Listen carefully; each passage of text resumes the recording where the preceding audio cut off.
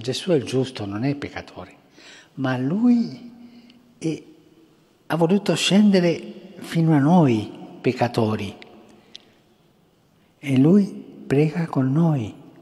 E quando noi preghiamo, lui è con noi pregando. Lui è con noi perché è in cielo pregando per noi. Gesù sempre prega con il suo popolo, sempre prega con noi, sempre. Mai po- preghiamo da soli, sempre preghiamo con Gesù.